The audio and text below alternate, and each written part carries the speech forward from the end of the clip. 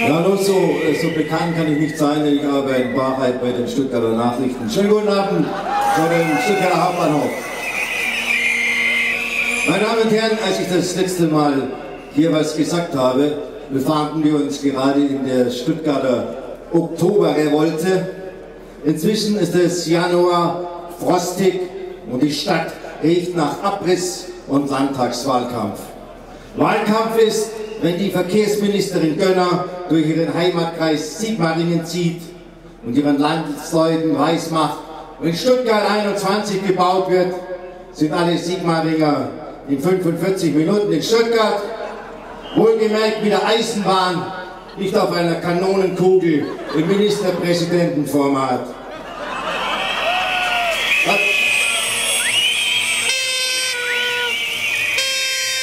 Dazu muss man nicht sagen, das ist wie gesagt Wahlkampf und jedes Land hat die Sarah Palin, die es verdient.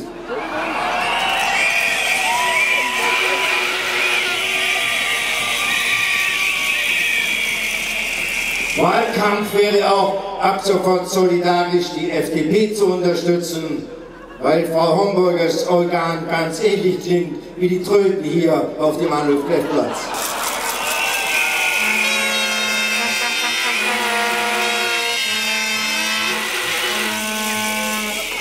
Aber mir geht es nicht um Wahlkampf. Die Eisenbahn wurde nicht nur erfunden, um den Bürgern Land wegzunehmen und darauf Luxus-Apartments hinzustellen, wie hier auf dem Bahnhofsgelände. Man kann mit der Eisenbahn, wenn sie gerade mal fährt, auch eine nützliche Reise machen, zum Beispiel nach Frankfurt am Main, um dort die Paul-Bonatz-Ausstellung im Deutschen Architekturmuseum zu besuchen.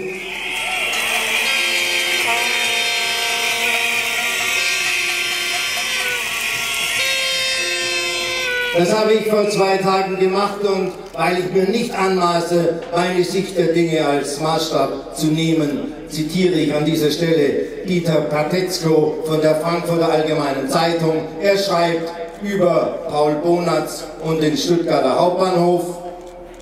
Zu erkennen, dass die Bauherren von Stuttgart 21 mit diesem einzigartigen Denkmal so ignorant und stumpfsinnig umgehen, wie 1928 die fanatischen Funktionalisten, die den Bau als reaktionären Giganten diffamierten, bleibt dem Besucher überlassen, die nur mit extrem großen Scheuklappen könnte man im Deutschen Architekturmuseum die Verstümmelung des Stuttgarter Hauptbahnhofs als Lappalie abtun.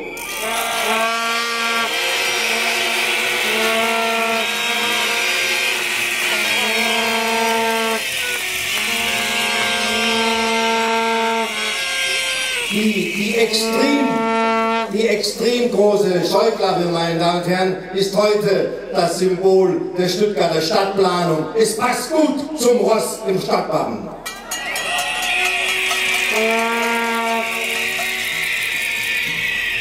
Was mir in den vergangenen Wochen besonders aufgefallen ist, sobald man Begriffe wie Historie, Denkmalpflege oder Kulturgeschichte auch nur ausspricht oder hinschreibt, kommen die S21-Befürworter ums Eck und verbreiten die Phrasen, man romantisiere, verkläre, trage die rosarote Brille.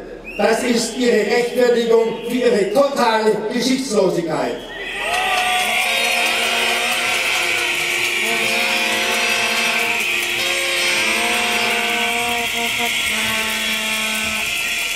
Seltsamerweise erinnern sich die gleichen Leute immer dann an Geschichte, wenn sie sich und uns den Bonatzbau als Nazi-Monument zurechtlügen.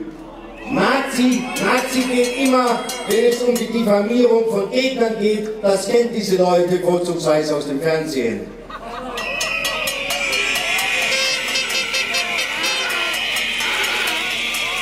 Selbstverständlich werden Sie den Unsinn vom faschistisch geprägten Baumeister auch wieder verbreiten, wenn Sie den Südflügel zertrümmern, dieses Dokument einer Architekturgeschichte, die zurückreicht bis zu den Ägyptern. Sie erkennen nicht, was da vor Ihnen steht, sondern beurteilen dieses Denkmal mit seiner einzigartigen Dynamik nach Ihrem Privatgeschmack.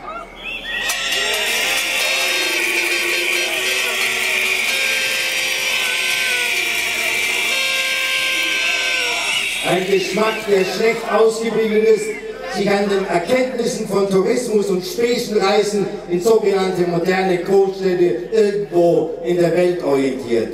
Diese Leute haben nicht das geringste Gefühl und auch nicht den Sachverstand dafür, wie die Stadt Stuttgart ihre Identität, ihren Charakter und ihr Gesicht verliert, wie die Stadt immer mehr zu einem austauschbaren Sammelsurium von Büro- und Wohneinheiten in der Innenstadt verkommt.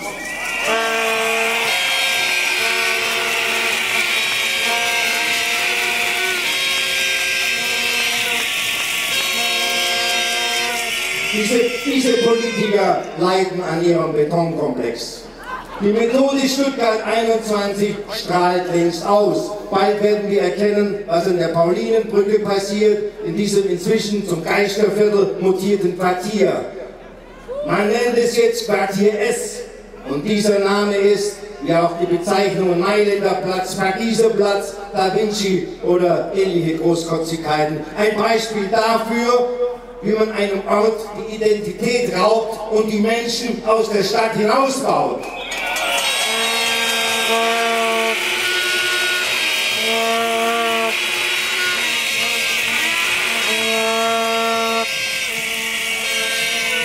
Man wird die eine oder andere alte Fassade stehen lassen, so wie hier am Bahnhof, und das ist bezeichnend. Meine Damen und Herren, Sie kennen alle den Schriftzug mit dem Hegel-Zitat hier an der Frontseite des Hauptbahnhofs, eine Arbeit und ein Geschenk des amerikanischen Konzeptkünstlers Joseph Kosuth. Joseph Kosuth hat im Zusammenhang mit Stuttgart 21 Folgendes gesagt. Ich zitiere. Selbst wenn etwas nicht vollständig abgerissen wird, so lässt man in der Regel nur die Fassade stehen und baut dahinter praktische Gebäude. Das ist ein rückschrittliches Architekturverständnis. Architektur hat die Psychologie eines Ortes zu konservieren.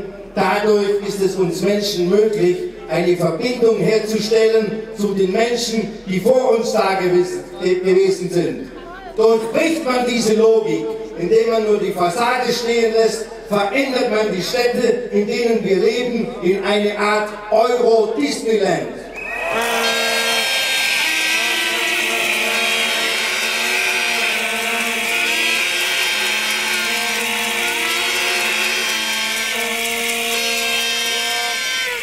Der Künstler Kosuth sagt uns, es geht gewissen Stadtplanern, Politikern nicht darum, Altes und Neues zu verbinden, wie es große Architekten anderorts vormachen. Es geht ihnen nicht darum, Entwicklungen zu erkennen und daraus zu lernen. Deshalb reagieren sie so allergisch, wenn sie das Wort Geschichte hören und ihren dummen Spott über ihren eigenen Großvater ablassen, sobald man sie an die Errungenschaften der Vergangenheit erinnert. Diese Leute, man, find, man findet sie in den Wahlkampfquartieren der Parteien, sind früh verkreist und halten ihre Verbotheit für Fortschrittsdenken.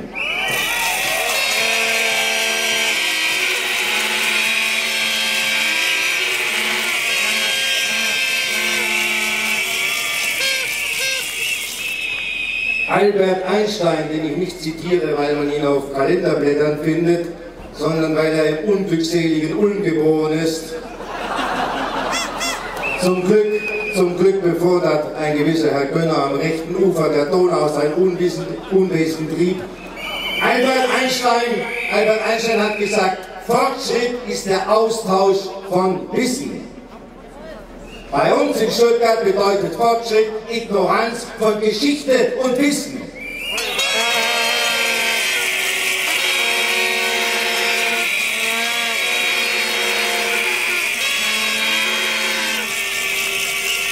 Den Austausch von Wissen haben Politiker durch die Floskel Kommunikation ersetzt, ein anderes, ein anderes Wort für billige Propaganda. Euro Disneyland, das ist die Zukunft, meine Damen und Herren. Darauf laufen Projekte wie S21 hinaus. Euro Disneyland bedeutet Dagobertismus, auch Casino-Kapitalismus genannt.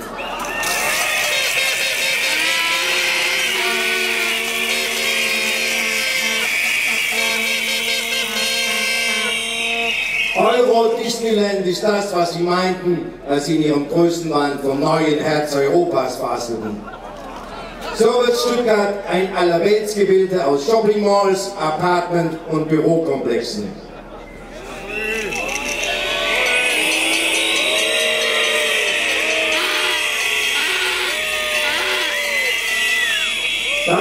Da die, Betonplaner ja die Zukunft, den Fortschritt und vor allem, wie sie glauben, das Marketing erfunden und gepachtet haben, fragt sich der halbwegs wache Marketingmensch.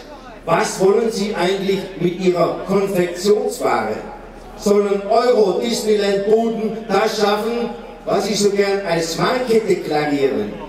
Sie produzieren keine urbane Marke, kein, keine Alleinstellungsmerkmale, um in ihrem läppischen Sprachgebrauch zu bleiben. Sie fabrizieren Wortmüll und Logos, über die jeder Grafiker lacht, der einen rechten Winkel in seinem Computer von einem Eierfleck auf seiner Hose unterscheiden kann.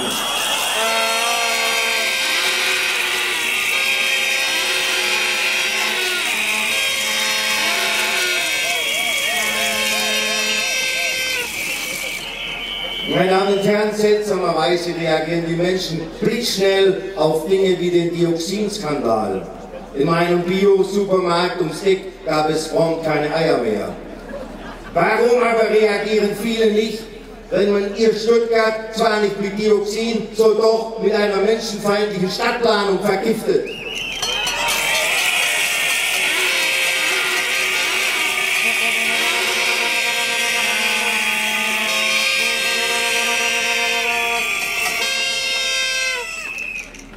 Da müsste doch der Satz, wonach man einen Menschen mit einer Wohnung wie mit einer Axt erschlagen kann, in die Zukunft führen, mit einer gewissen Art Städtebau, mit jenem Fassadismus, den Joseph Kossuth beschreibt, wird man viele Menschen vielleicht nicht erschlagen, aber man wird sie aus ihrer Stadt vertreiben, denn die Stadtentwicklung schafft die Voraussetzung dafür, wer sich was in Zukunft noch leisten und wo er wohnen und leben kann.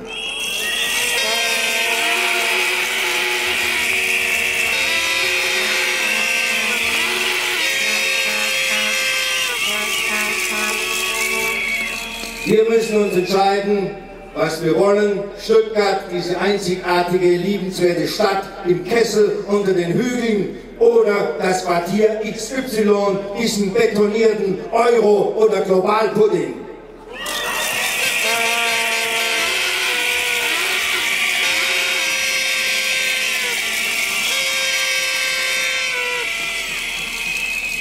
Meine Damen und Herren, ich bin am Ende meines Vortrags. Gehen Sie bitte nachher pünktlich nach Hause, sonst wird der Veranstaltungschef hier wieder zu 1500 Euro Strafe verknackt, weil er selber 20 Minuten zu früh gegangen ist. Allerdings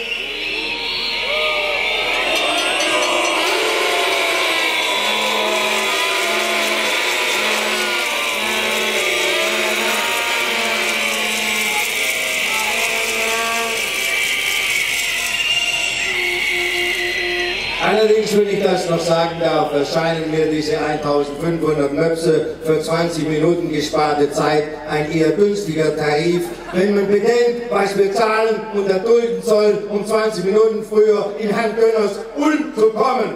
Wir bleiben hier in Stuttgart. Vielen Dank und schönen Abend.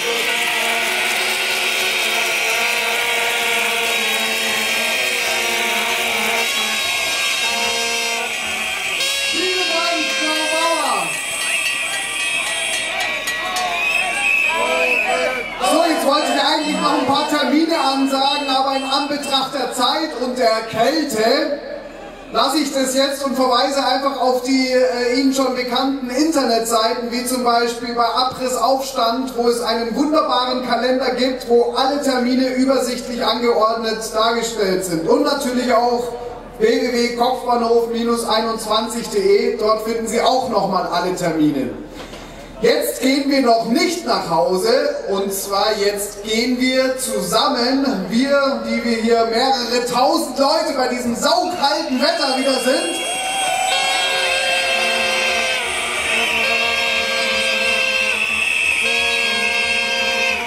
Wir wollen zusammen einen Demozug machen zum Schlossplatz. Und zwar gehen wir hier zum Hotel Graf Zeppelin in die Lautenschlagerstraße rein, zur Boltstraße und von dort dann Richtung Schlossplatz. Dort wollen wir um 19 Uhr alle zusammen den Schwabenstreich vollführen.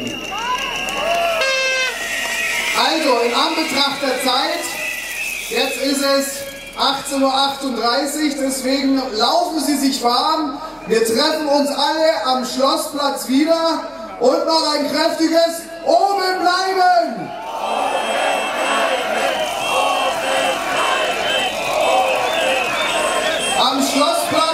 Veranstaltung dann offiziell beendet. Bis zum nächsten Mal und oben bleiben!